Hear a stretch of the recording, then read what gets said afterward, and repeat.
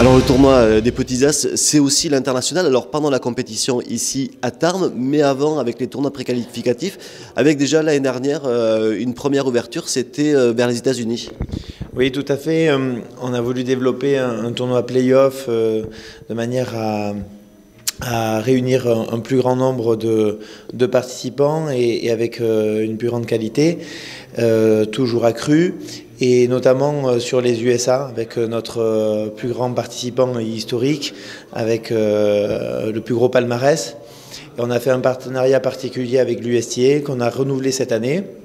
L'année dernière au Club Med, au Club Sandpiper en Floride et cette année dans le New Jersey puisqu'on voulait se rapprocher de New York qui est la, place, la place où il faut être aux États-Unis.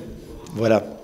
Donc du, coup, ça permet comme ça aussi de, préqualifier directement les meilleurs joueurs jeunes américains directement chez eux ça, tout à fait. Ça évite d'avoir une recrudescence des euh, demandes de wildcard euh, qui étaient euh, toujours plus importantes avec les États-Unis et de pouvoir un petit peu cadenasser, englober ces qualifications-là en passant par un tournoi qualificatif et qui donc euh, euh, rassemblait vraiment les meilleurs et nous, a, cette certitude, nous, en tant que direction du tournoi des Petits As.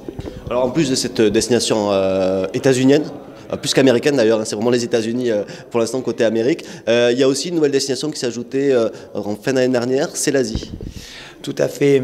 en octobre, juste après le tournoi playoff USA, on avait la volonté de développer euh, sur le, continent euh, asiatique euh, cette formule, mais en, l'adaptant au, format asiatique, c'est-à-dire vraiment là pour le coup l'ouvrir à différents, différents pays, à tous les pays du, continent asiatique, leur permettant de participer à ce tournoi-là, de faire l'effort de venir participer à un tournoi qualificatif afin d'avoir la possibilité de se qualifier chez nous.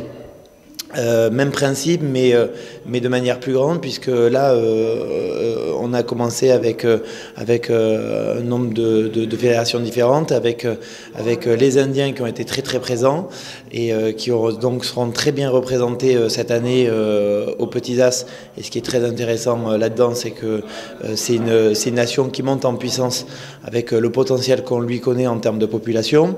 Et, et puis les Kazakhs, une très belle taïwanaise aussi qui euh, qui, a fait un, super parcours pendant ces playoffs et qui, je pense, sera, euh, sera à suivre. Donc une belle édition et qui sera renouvelée, j'espère, avec encore plus euh, un, nombre de nations plus important l'année prochaine. C'est quoi l'image justement de ce mondial Les Petits As, Lacoste, sur ces deux continents, l'Amérique et, l'Asie? C'est un tournoi qui est envié C'est un tournoi sur les gens qui, qui, connaissent le tennis, sur le monde passionné du tennis, qui est très connu et qui est indispensable, incontournable pour les, euh, fédérations.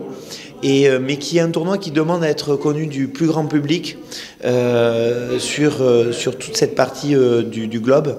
Et, et donc cette ouverture-là qu'on veut vers les États-Unis, vers l'Asie, c'est aussi pour ça, c'est euh, faire, euh, faire connaître le, tournoi au plus grand nombre. C'est pour ça que là-bas on dépêche euh, notre propre équipe en termes de, de, vidéos et qu'on relaye sur, sur Facebook, sur Instagram, sur notre site internet, tout ce qui se passe pour avoir le plus grand nombre. On pas pu encore, encore sur ces, playoffs avoir le live streaming, mais on y travaille dessus, on l'a déjà sur Tarbes et ça nous permet déjà d'être d'être suivi euh, par le monde entier.